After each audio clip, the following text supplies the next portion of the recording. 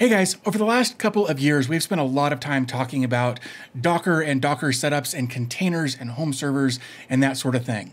During that time, I have taken a look at a lot of Docker containers, and in this video, I thought we would take a look at what it is I actually host in my day-to-day -day life. Before we actually get into the different things that I host on my network, I thought it would make more sense to actually take a look at the hardware I'm using, and then once we've gone through the hardware, go back and take a look at the different uh, things that are being hosted on each of those different bits of hardware. But before we get into any of that, here's a quick message from today's video sponsor. This video is sponsored by Linode. I've been partnered with Linode for quite a while now because it's a great place to host just about anything you could want to host. Need a dedicated space to host an app?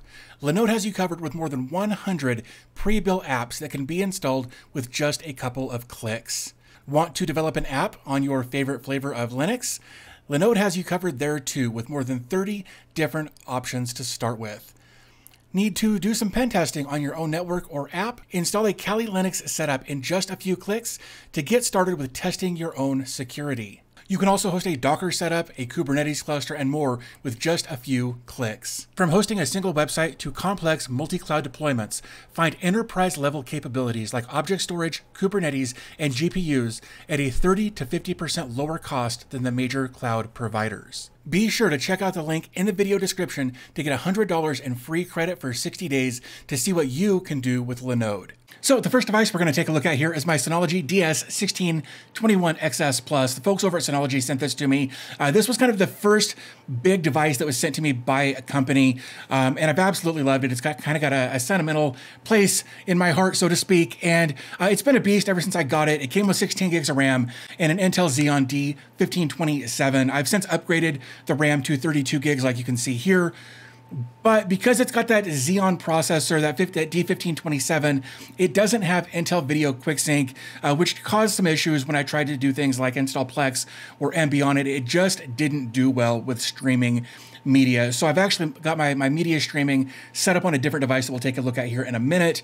Um, but like I said, I've upgraded it to 32 gigs of RAM. I've only have, ever had one issue with it, and that's when I first got it. One of the drives that I got was bad. I RMA'd it, and it's been a beast ever since. And in fact, if we come over uh, to the storage manager here, we can see that it is uh, six bays, six three and a half inch bays rather, and two M.2 bays. Uh, I've got each of the six drives uh, populated with an eight terabyte drive, and then a two terabyte NVMe uh, drive from Sabrent. And uh, the cache drive, that M- M.2 drive from Sabrent that I'm using as a cache drive, really does make a difference uh, for media streaming and things like that because of the configuration that I'm currently using. And like I said, this has been a beast ever since I got it. Um, and I, I, do host quite a bit of uh, Docker stuff on this that we will take a look at here in just a little bit. But um, absolutely love this, except for the fact that that, that that Xeon processor doesn't have Intel Video Quick Sync on it. So there you go. So the other three NAS devices that I have on my network are all provided to me by TerraMaster. Uh, in fact, the one of them I haven't even reviewed on the channel yet, so there's not much to talk about there yet. But uh, I've always been a big Kevin Smith fan, so I've kind of used the uh, View Askew universe uh, as as some of my naming uh, inspiration. Like the first device we're going to take a look at here uh, is an F2 423, again a TerraMaster device that I've named J, and I only use it for Emby. That's it. That is, it's my media server, and that's all it does. Is it just serves Emby media?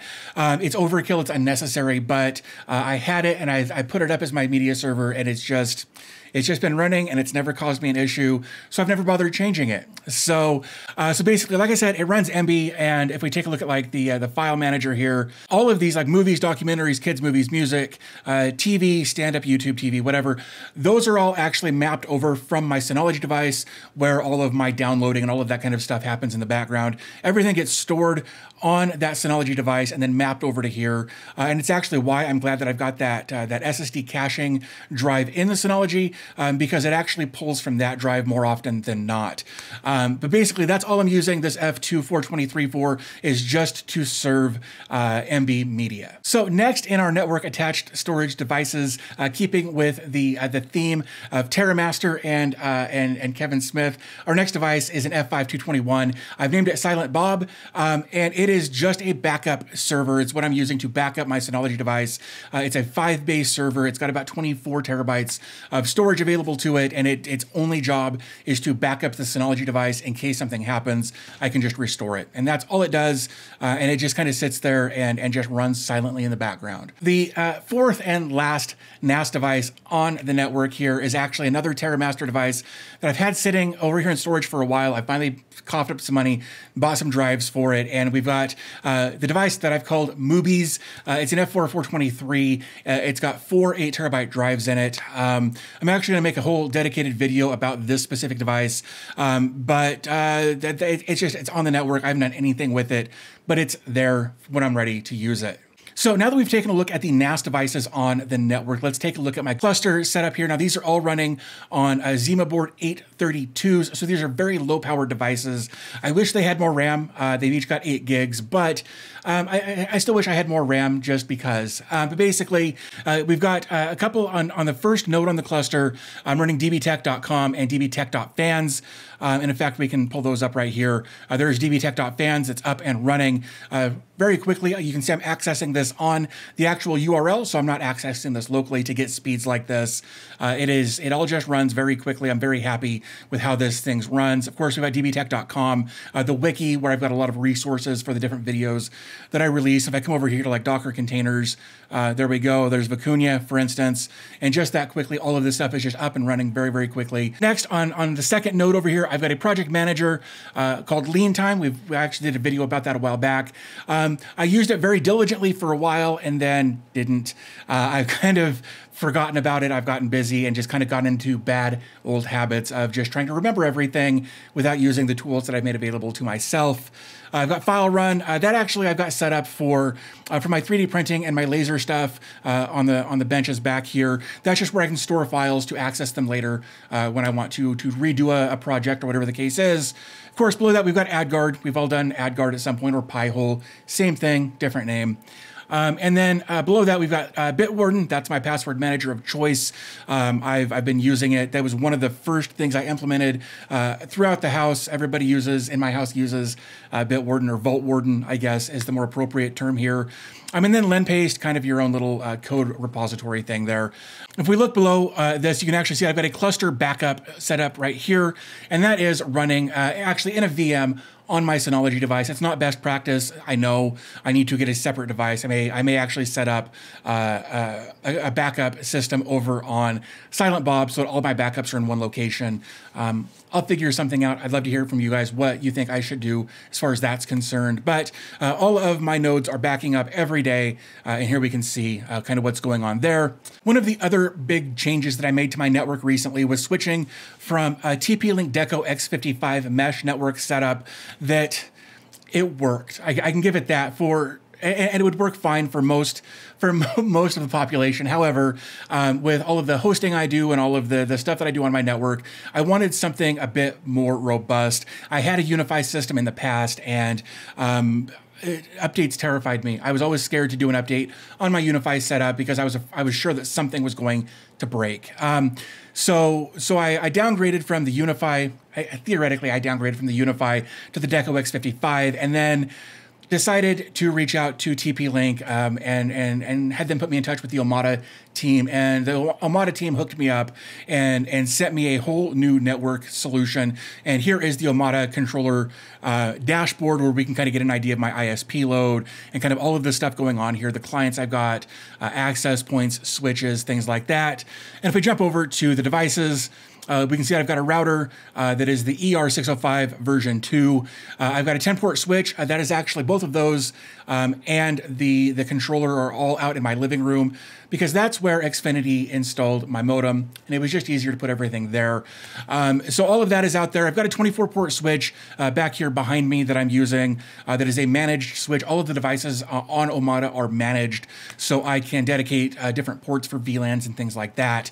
Um, and then, of course, uh, I've got uh, their wireless access point, which is just a beast. Uh, I absolutely love it. I've got multiple uh, wireless networks set up for guest and IoT and, and all kinds of stuff. So there's a video coming about this uh, network solution as well. But I wanted to give you an idea of what's kind of running my network at this point. So that's covered quite a bit, but we're not done yet. That is kind of all of the infrastructure stuff and the the, the sites that I've made publicly available, uh, mostly for uh, for the the DB Tech brand, as far as websites and and and fan pages and things like that. Uh, so now let's kind of talk about what I host internally for my own personal private use. So here is Portainer. This is actually set up over on my Synology device, um, the one that's been up and running for the last year and a half with no issues, thankfully.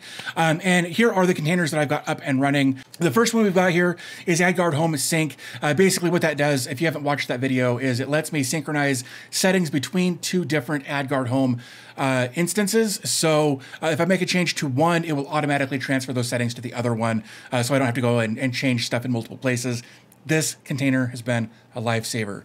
Uh, below that, we've got Discord bot. I could probably actually get rid of this. In fact, after having looked through some of this, there's a bunch of this I could get rid of, which I probably will at some point. But Discord bot was mostly just so that um, I could help manage my Discord uh, a little easier. If you're not a member of the Discord, you should definitely check that out. Next, we've got Emulator JS. That's another one of those that's going to go. Uh, I had it set up for a video. I thought I was going to use it. I don't use it. So it's just taking up space and it can go at this point. Um, Epic Jensen uh, is actually just a Cloudflare uh, tunnel application so that I can remotely access uh, my different containers and websites and things like that without having to expose any ports on my network. Um, so that's what that there, that's there for. Guacamole, uh, I actually use this every once in a while for remote accessing, uh, you know, my, my PC in here, uh, being able to SSH into different devices, things like that. Um, and of course, anything that I've got publicly facing uh, is tightly secured through Cloudflare tunnels and, and a, a, multitude of different authentication methods that have to be uh, achieved in order to gain access. So that's what's going on there. But that Guacamole uh, has been a huge help for me if I'm if I'm traveling or if I'm away from home and I need to get in and get something. I can remote into my system here and grab the files I need very very easily with Guacamole. Uh, homepage that's another one I set up. Uh, I actually I really really like that that that that dashboard, um, but I don't use dashboards as often as I as I thought I would. Uh, I've got another one in here that I do use periodically uh, because of the way I've got it tied into the rest of my system. We'll take a look at that in a minute. Uh, iPerf 3 server. Um, periodically, I just want to make sure that everything's working correctly. So I've got an iPerf 3 server set up so I can uh, test my network connectivity. Um, the PC that I'm actually doing everything on right now, as well as that Synology, are, are 10 gig, so I can I can do some testing that way uh, on that 10 gig network there. Uh, Jackett and uh, let's see, Jackett, Jelly Sear, um, Qubit, Torrent VPN, Radarr, and Sonarr um, are all, uh, and PiVPN, or PIA VPN rather here, are all of my media acquisition uh, containers. And that's all I'm going to say about those. Uh, next, we've got MeTube. I think this is like YouTube Downloader, but different. Uh, I actually like MeTube a lot better. Uh, and it's what I've been using to archive footage from the internet for quite a while now. I'd love to make a video about it, but I'm terrified that YouTube will give me another community strike on my channel, and I don't want to risk that. So uh, if you're interested in a MeTube video, uh, let me know. I'll figure something out, um, and we'll go from there. Next, we've got Organizr. Uh, this is actually one that I use uh, more regularly as far as uh, a dashboard is concerned you know, if we come to my homepage here, we can see that I've got a couple of different video streams going on right now. Uh, Family Guy, Supernatural. Uh, below that, of course, we can see all of the different media that's being acquired, when it's being acquired. Um, if it's if it's in green, it has been acquired. If it's in blue, it is not yet available. If it's in red, which none of these are, thankfully, it means there was an issue. Um, but of course, you can come in and, you know, this is all tied into all of the different containers that are on my network for the media acquisition stuff. Um, you know, Sonarr, Radarr, Qubit, Torrent, uh, Emby, obviously. Uh, all of those are kind of tied in together. I've got, you know, YouTube DL, but this is actually MeTube. Um, but all of these are available uh, through this tab or through the you know through the sidebar over here and that's kind of why i use it is i can just jump between uh, my different things here and uh, just get access to whatever it is i want from one single place it's why i really like Organizr. So that's why I use this one and not some of the others. Uh, let's see. Uh, of course, Portainer, that's what we're in right now. PwnDrop, if I need to share a file with somebody, I use PwnDrop. It's just easier, uh, in my opinion, most of the time to just do that and that's of course set up on a domain name so that I can I can send that to people and they can access the files that I've given them. Whatever. Uh, Uptime Kuma, I actually really like this one. Uh, it tells me what services are up and down. I actually had forgotten about this when I switched my network over. I didn't update uh, Uptime Kuma, and so I had a lot of downtime being reported here. I fixed it this morning, and now everything is up and running. Everything seems to be working very very well. And here shortly, uh, this three percent uptime will hopefully jump up to 100 percent uh, without any issues. So guys, there you go. After the last couple of years of looking at containers and Docker setups and things like that, you know, we've probably looked at, at more than 100 different containers, and these are the ones that I actually use on a regular basis. You know, whether it's for my for my the, the convenience of my day-to-day life here in the house, or the stuff that I've got hosted so that uh, so that you guys can have access to additional resources for the different videos that I release. This is what I use on a day-to-day basis uh, across my network. So hopefully you found the video interesting. Uh, if you did, do me a favor, give the video a thumbs up. Maybe leave a comment down below letting me know what some of your more favorite uh, day-to-day use containers and setups are. I'd love to know what you guys are using. Maybe I'm missing something that would make my life even easier. Uh, so yeah, if you've got any ideas of something I should check out, let me know in the comment section down below. Um, but I think with that said, I'm going to go ahead and wrap this up. Thank you for spending a few minutes of your day with me today, and I'll talk to you guys in the next video.